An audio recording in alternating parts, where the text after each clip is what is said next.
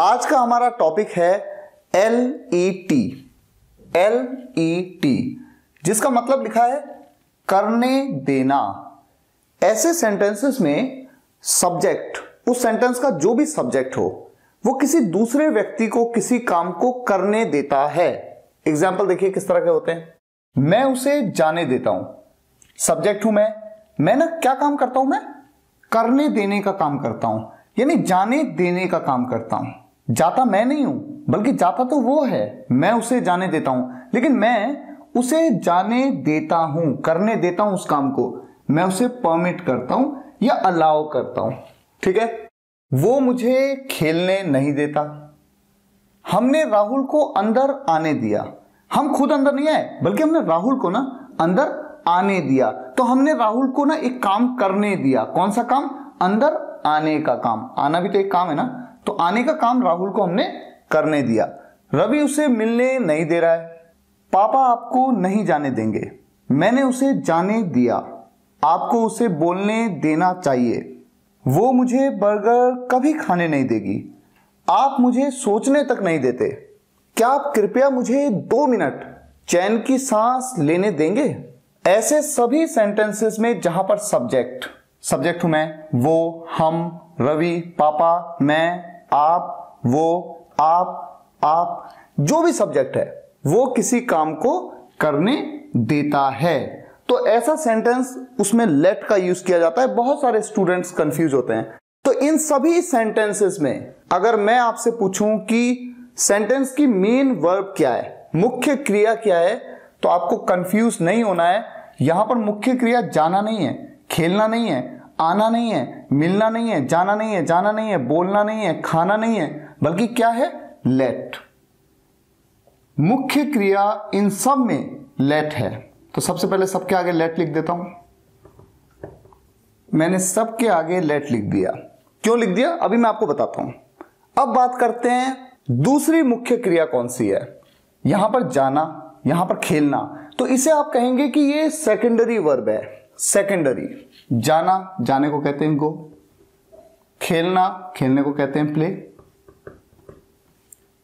आना, आने को कहते हैं कम. मिलना, मिलने को कहते हैं मीट तो चलो, सब लिख देते हैं. जाना जाना, बोलना.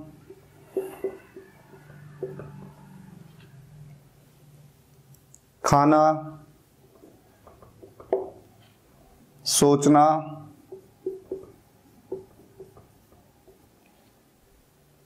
क्या आप कृपया मुझे दो मिनट चैन की सांस लेने देंगे? लेना। ठीक है। तो ऐसे सभी सेंटेंसेस में हमेशा मेन वर्ब होगी लेट और सेकेंडरी वर्ब जो है ना, उसकी हमेशा फ़र्स्ट फॉर्म आएगी। आप ध्यान रखिएगा, हमेशा सेंटेंस में फ़र्स्ट फॉर्म अभी जब हम बनाएँगे ना तो मैं आपको बताऊँगा। और एक बात ध्यान रखनी है मैंने कहा, यहाँ पर सभी सेंटेंसेस में लेट आपकी मेन वर्ब होती है, क्योंकि किसी ना किसी काम को करने देता है सब्जेक्ट और लेट चूँकि एक मेन वर्ब है, इसकी तीन फॉर्म्स कौन सी होती है? फ़र्स्ट फॉर्म सेकंड फॉर्म और थर्ड फॉर्म तीनों फॉर्म सेम होती है लेट लेट लेट और अगर मैं बात करूँ फोर्थ फॉर्म जिसे आप प्रेजेंट पार्टिसिपल फॉर्म कहते हैं आईएनजी फॉर्म वो होती है लेटिंग सिंपल अब हम बनाते हैं एक एक करके सेंटेंसेस को. अब जब एक एक करके सेंटेंसेस को हमें बनाना है ना तो सबसे पहला ध्यान हमें रखना है कि सेंटेंस किस टेंस का है.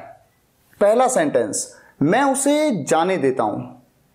ता, ते, ती, और उसके साथ है, हैं, हो, हूँ ये sentence present indefinite tense का है। और रूल के हिसाब से सबसे पहले सब्जेक्ट है मैं। यहाँ पर जो मुख्य क्रिया, यानी मेन वर्ब है, वो है लेट और सेकेंडरी वर्ब है जाना, यानी कि गो इस सेंटेंस को मैं कैसे बनाता हूँ, देखिए। आई लेट हिम गो अब जरा सोचिए कि ऐसा ही सेंटेंस क्यों बना। सब्जेक्ट है आई उसके बाद मेन वर्ब जो भी सेंटेंस की मुख्य क्रिया है, उसकी फ़र्स्ट फॉर्म का यूज़ किया गया। यहाँ पर मैं एस लगा देता, अगर मेरा सब्जेक्ट होता थर्ड पर्सन सिंगुलर जैसे ही शी या किसी एक व्यक्ति का नाम। लेकिन यह है आई तो यहाँ पर मैंने एस का यूज़ नहीं किया। दूसरी बात यह है कि सब्जेक्ट उस काम को जिस किसी को भी करने देता है, उसे ही उसका हमेशा ऑब्जेक्टिव प्रोनाउन ही को जब आप ऑब्जेक्ट में यूज़ करते हैं तो हिम बना देते हैं, ये यूज़ करेंगे। और अब बात आती है सेकेंडरी वर्ब की, और सेकेंडरी वर्ब है जाना, जाने को गो हमेशा ध्यान रखें सेकेंडरी वर्ब की हमेशा फ़र्स्ट फॉर्म का यूज़ होगा। आई लेट हिम गो अब देखिए दूसरा सेंटेंस वो मुझे खेलने नहीं देता। वो मुझे खेलने नहीं देता। ता, ते, ती। वो मुझे खेलने नहीं देता है। प्रेजेंट इन डेफिनेट टेंस का नेगेटिव सेंटेंस है ये। नेगेटिव। वो मुझे खेलने नहीं देता है। ही ही के साथ आप क्या यूज़ करेंगे?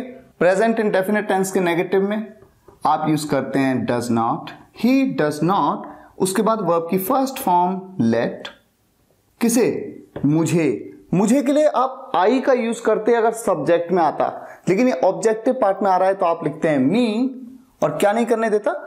खेलने नहीं देता तो जो सेकेंडरी वर्ब है, उसकी फ़र्स्ट फॉर्म का आपने यूज़ किया। He doesn't let me play हमने राहुल को अंदर आने दिया। आया गया, उठा बैठा, रोया, सोया, हंसा, जागा, नाचा, गाया, खेला, कूदा। किस टेंस का है? पास्ट एंड डेफिनेट टेंस का अफर्मेटिव सेंटेंस रूल क्या कहता है? सबसे पहले आप लिखते हैं सब्जेक्ट सब्जेक्ट है हम वी उसके बाद वर्ब की सेकंड फॉर्म अब लेट की तो सेकंड फॉर्म भी लेट होती है। तो वी लेट किसे? राहुल को। वी लेट राहुल आना। हमेशा फ़र्स्ट फॉर्म जैसे मैंने आपको बताया सेकेंडरी वर्ब की, अंदर के लिए in we let Rahul come in हमने राहुल को अंदर आने दिया। नेक्स्ट सेंटेंस रवि उसे मिलने नहीं दे रहा है। रहा है, रही है, रहे हैं। प्रेजेंट का कंटिन्यूअस टेंस और नेगेटिव सेंटेंस है। प्रेजेंट कंटिन्यूअस के नेगेटिव को कैसे बनाते हैं? सबसे पहले सब्जेक्ट लिखते हैं आप, रवि। रवि एक थर्ड पर्सन सिंगुलर सब्जेक्ट है तो रवि के साथ लिखेंगे आप इज़ रवि इज़ नेगेटिव में नॉट उसके बाद वर्ब की फ़र्स्ट फॉर्म के साथ आई यानी कि फोर्थ फॉर्म बना लेते हैं आप। और लेट की जो फोर्थ फॉर्म मैंने आपको बताई थी, क्या है वो? Letting Ravi is not letting उसे, वो कोई लड़का है ना? अगर लड़का है तो ही लड़की है तो शी और उसका ऑब्जेक्टिव प्रोनाउन मैं मान लेता हूँ लड़का है तो मैंने कहा हिम लड़की होती तो हर मिलने को हम कहते हैं meet simple Ravi is not letting meet पापा आपको नहीं जाने देंगे। देंगे। गागेगी। जब भी किसी वर्ब के साथ गागेगी लग के आता है तो फ्यूचर इंडेफिनेट टेंस का सेंटेंस है। फ्यूचर इंडेफिनेट आप देखिए। पापा विल पापा विल नॉट नेगेटिव सेंटेंस है ना, पापा विल नॉट और उसके बाद वर्ब की फ़र्स्ट फॉर्म लेट आपको, आपके लिए आप यूज़ करते हैं यू चाहे सब्जेक्ट में आए, चाहे ऑब्जेक्ट में आए। जाने को आप कहते हैं गो सिंपल पापा will not let you go अच्छा अगर मैं कह दूँ कि पापा आपको मार्केट नहीं जाने देंगे, पापा will not let you go to market बस वो ऐड होता जाएगा। लेकिन बेसिक स्ट्रक्चर यही है।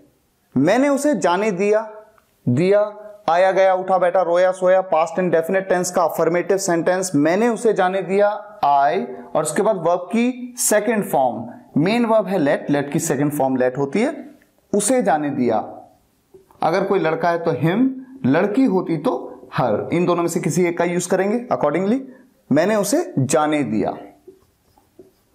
आई लेट हिम गो या आई लेट हर गो आपको उसे बोलने देना चाहिए। चाहिए के लिए हम क्या यूज़ करते हैं? शुड आपको उसे बोलने देना चाहिए। सब्जेक्ट है आप। यू शुड शुड के बाद सेंटेंस की जो मेन वर्ब है, उसकी first form first form let उसे बोलने देना चाहिए हिम सेकेंडरी वर्ब है स्पीक और उसकी फ़र्स्ट फॉर्म का यूज़ आप करते हैं। You should let him speak वो मुझे बर्गर कभी खाने नहीं देगी।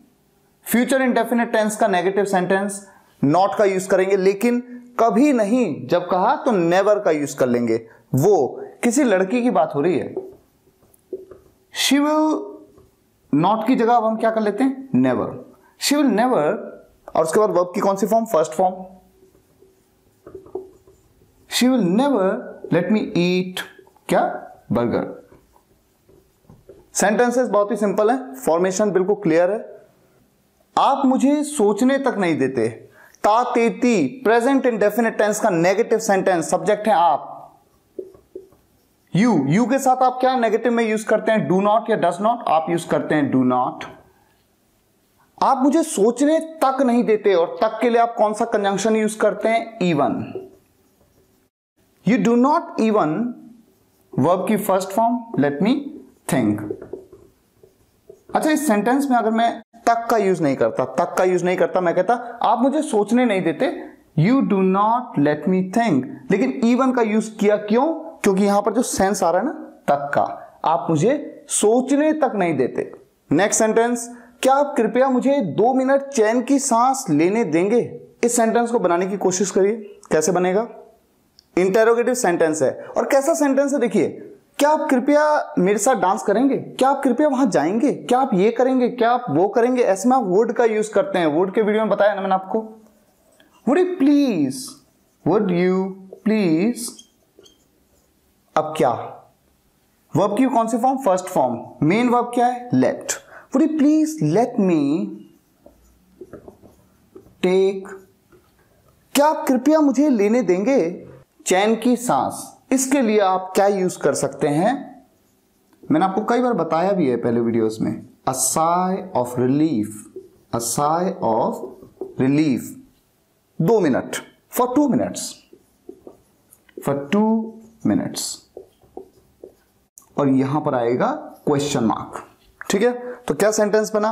Would you please let me take a sigh of relief for two minutes और आपकी नॉलेज के लिए मैं आपको बता देता हूँ कि यहाँ पर लेने में, ऐसे केस में ना टेक की जगह पे आप ब्रीथ या हीव दोनों में से किसी का भी यूज़ कर सकते हैं। ब्रीथ या फिर हीव तो आप सेंटेंस कैसे बोलते हैं? Would you please let me breathe a sigh of relief for two minutes या फिर would you please let me heave a sigh of relief for two minutes और टेक का तो यूज़ आप कर ही सकते हैं।